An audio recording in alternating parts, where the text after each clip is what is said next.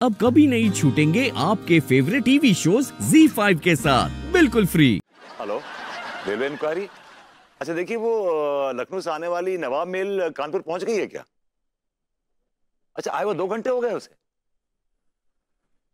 समझ नहीं आ रहा यार। गाड़ी को आए हुए दो घंटे हो गए।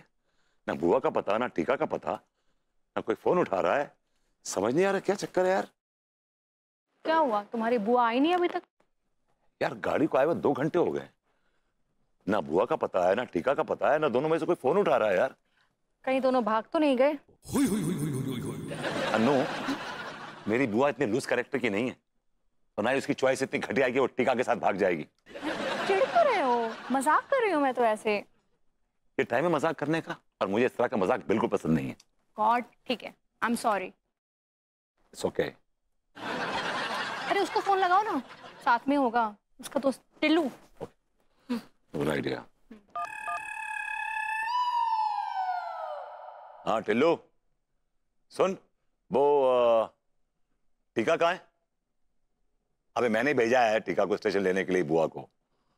ना टीका फ़ोन उठा रहा है ना बुआ फ़ोन उठा रही है। दोनों को आता पता ही नहीं है। ये बता तेरे अंदाजे से कहाँ होंगे वो लोग? अबे कम वक्त फ़ोन रख। रख फ़ोन। तो कौड़ी का आदमी। छी। क्या कह रहा था? वो जो तुम कह रही थी।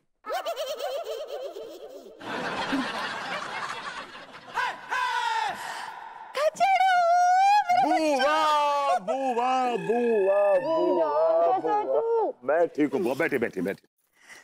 वो कहाँ रह गई थी आप? मुझे बड़ी चिंता हो रही थी आपकी। अरे तुम्हें क्यों चिंता हो रही थी मेरी?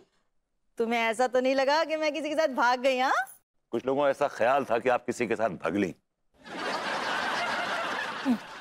अगर मैं भागती भी ना खचेड़ू तो ये पहली बार नहीं होता। तू तो जानता ही है खचेड़ू। मैं इससे पहले तीन चार बार भाग चुकी हूँ। ये ये तेरी बीवी है ना? अब जी बुआ जी मेरा परिचय कराना तो शायद आपके भतीजे भूल ही गए हैं। मैं अपना इंट्रोडक्शन खुद करा देती हूँ। मैं आपके भतीजे की वाइफ हूँ इत्तेफाक से। आ, अनु राइट हाँ। I am sorry Anu. मैं तुम्हारी शादी में नहीं आ पाई क्या है अरे अरे नहीं नहीं नहीं। मैं इतनी बड़ी कहाँ हूँ? मैं तुमसे चार पाँच साल छोटी होंगी ना। बस चार पाँच साल? आप तो आठ दस साल छोटी लगती हैं। You quite young how sweet thank you choose me guys मैं चलूँ फिर? निकल ले निकल ले चल निकल ले। ये बता तू रह कहाँ गया था बे इतनी देर? एक्चुअली भैया वो रिक्शे वालन की ना हड़ताल रहती। तो हम दोनों पैदल ही आ रहे थे। वो बुल